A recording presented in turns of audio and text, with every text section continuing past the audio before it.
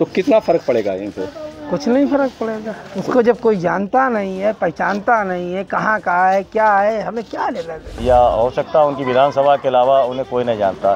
पहली बार हम लोग नाम सुन रहे हैं। ये हमारे अकील अहमद पट्टा जी ये तो इससे पहले आप बताइए पाँच सालों में कभी भी लोकसभा से किसी मुस्लिम को टिकट मिला? कभी नहीं मिला।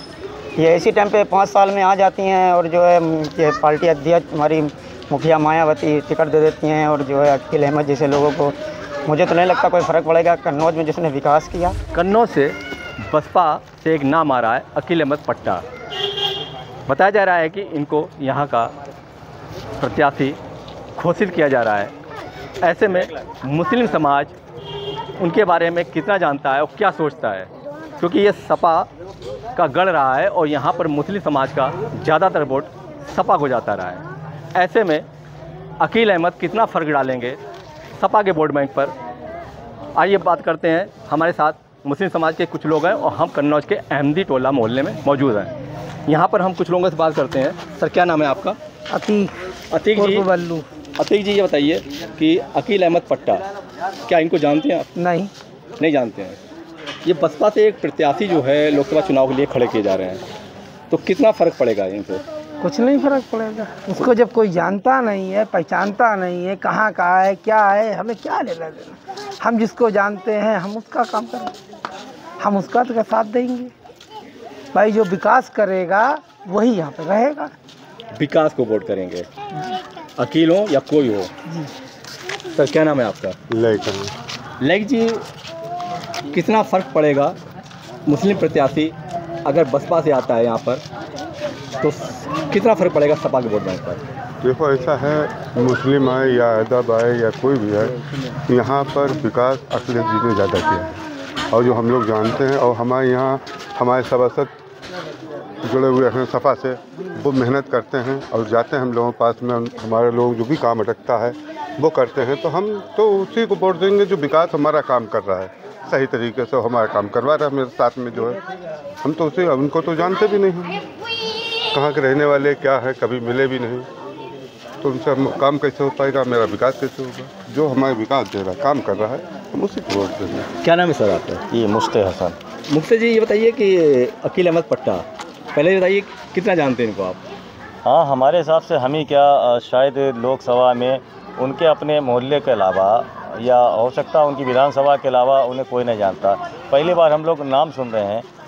और इतना बड़ा चेहरा जिस जो लोकसभा में चुनाव लड़ता है, वो पहले से इतना प्रख्यात चेहरा होना चाहिए, इतना फोकस में होता है कि आधे लोग से ऑलरेडी पहले से ही जानते हैं। ऐसा नाम सामने ला के रखा, जिसे कोई जानता नहीं। उनका हो सकता असल मकसद ये बसपा का कैंडिडेट ना होकर जिस पार्टी को फ़ायदा पहुँचाने का काम जिससे मिल सकता है, मुस्लिम वोट का ध्रुवीकरण हो सकता है, उन्हें बाकायदा एक लाया गया हो, ताकि ये कुछ वोटों का नुकसान पहुँचा सकें। क्योंकि अभी कुछ दिन पहले ही शिव कुमार बेरिया तम, और तमाम लीडर जो समाजवादी में अभी रसूलाबाद से शामिल हुए हैं तो वहाँ के ऊपर वो पूरी तरीके से रसूलाबाद सीट समाजवादी पार्टी की ओर मुँह कर चुकी है। अब अगर अकील अहमद को लाते हैं तो अगर 20 परसेंट वोट भी अगर ध्रुवीकरण कर देता है तो उसका फ़ायदा बीजेपी को मिल सकता है। ये खिलानी के तहत है, ना कि जीतने के तहत है। और यहाँ की जनता बहुत अच्छी तरीके से जान चुकी है कि हमें विकास को वोट करना है। और विकास यहाँ फिर अखिलेश यादव के अलावा किसी ने करवाया नहीं। आप पूरे ज़िले में, जनपद के किसी हिस्से में, किसी शहर के कोई कोने में आप चले जाएँगे, जो भी आपको काम दिखाई देता है, अच्छी समाजवादी पे का ही काम दिखाई देता है। हाँ इतना ज़रूर पिछली सरकार ने किया कि काम बिल्डिंग समाजवादी ने बनवाई, लेबिल उन्होंने लगा दिया। ये पूरे उत्तर प्रदेश का, पूरे देश में ये चल रहा है। लेकिन अब जनता बेवकूफ़ नहीं है। अब वो वोट नहीं देखती है। देखती है वो सामने जो पाँचों साल जिसने काम किया है, उसी को देंगे। और ये हमारे यहाँ चौबीस घंटे जो बिजली आज जो आ रही है, ये दिन भी अखिलेश यादव की है। वरना यहाँ पे हम लोग तो चारपाई डाल के बाहर रोडों पे, मैदानों में लेटते थे, मच्छरदानियाँ लगाते थे। अब उसकी ज़रूरत नहीं पड़ती थी, पड़ती है। तो हम ये चाहते हैं कि इससे ही बेहतर काम हो और काम करने वाला ही कन्नौज की लोकसभा सीट संभाले। क्या नाम सर आपका? जमीरुल हसन। जमीरुल जी ये बताइए कि सपा और बसपा भैया कहता है कहा जाता है कि मुस्लिम समाज का वोट ज़्यादातर इन्हीं पे जाता है। ऐसे में बसपा ने अब इस टाइम मुस्लिम कैंडिडेट ही यहाँ पर उतारने की सोचा है। तो क्या लग रहा है कितना फ़र्क पड़ेगा? कुछ भी फ़र्क नहीं पड़ेगा। फ़िलहाल भाई जैसे बताया इन्होंने कि उसको कोई जानता ही नहीं है। अकील पट्टा, अकील अहमद पट्टा को कोई जानता ही नहीं है। तो क्या प्रभाव पड़ेगा दूसरी चीज़ ये है कि हम तो विकास को देखेंगे। जिसने कन्नौज के लिए किया है, करते आ रहे हैं, हम तो उनको देखेंगे। और हमारे वोट की चोट भी वहीं लगेगी। हम उनको ही देखेंगे। दूसरी चीज़ ये है कि ये तो भारतीय जनता पार्टी की बी टीम समझो इनको। ये हमारे अकील अहमद पट्टा जी, ये तो इससे पहले आप बताइए, पाँच सालों में कभी भी लोकसभा से किसी मुस्लिम को टिकट मिला? कभी नहीं मिला।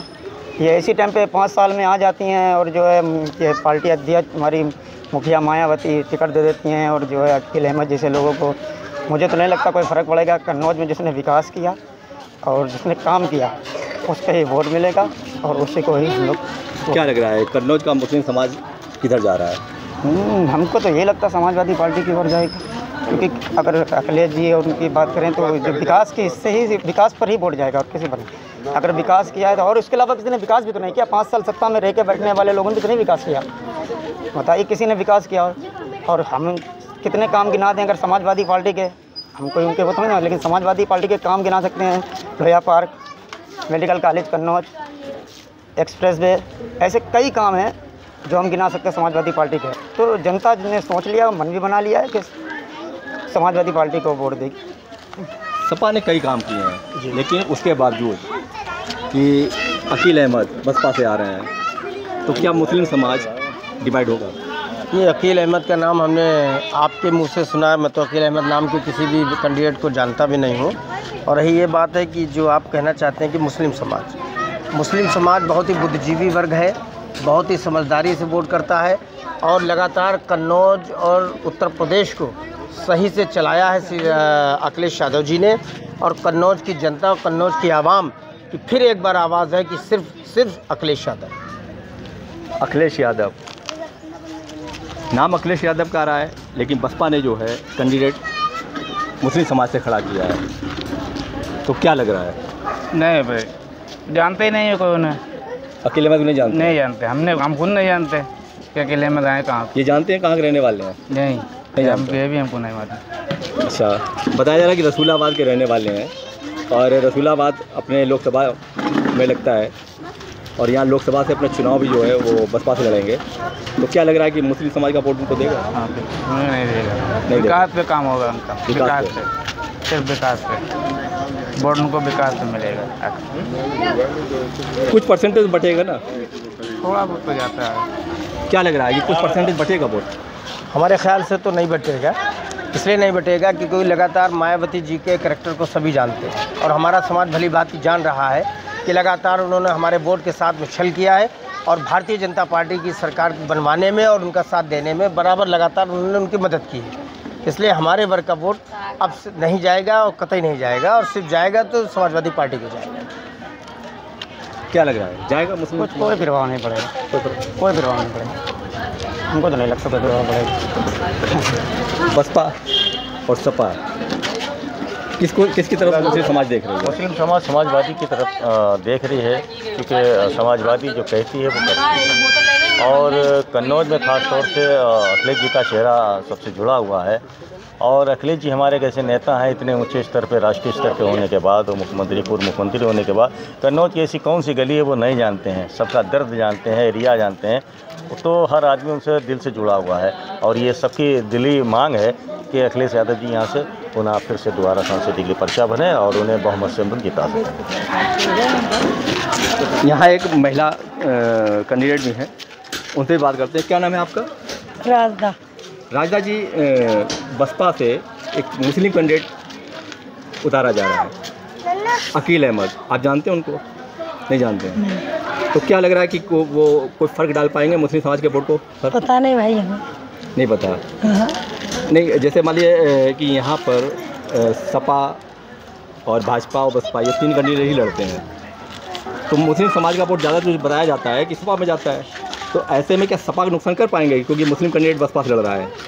हमें तो नहीं पता कौन लड़ रहा है कौन नहीं। अच्छा आप जानते नहीं उनको? नहीं। अच्छा जानते नहीं तो उनको वोट भी नहीं देंगे कि देंगे? वोट की तो हम अखिलेश यादव को देंगे। अखिलेश जी को वोट देंगे। तो ये हमारे साथ मौजूद थे मुस्लिम समाज के कुछ लोग जिनका साफ़ कहना था कि वो अकील अहमद पट्टा को जानते ही नहीं हैं। और उनका ये भी कहना है कि बसपा से जो ये कैंडिडेट खड़ा किया गया है ये कहीं ना कहीं सपा का वोट काटने के लिए और भाजपा को फ़ायदा पहुँचाने के लिए खड़ा किया गया। है कन्नौज से नीरज श्रीवास्तव, यूपी तक।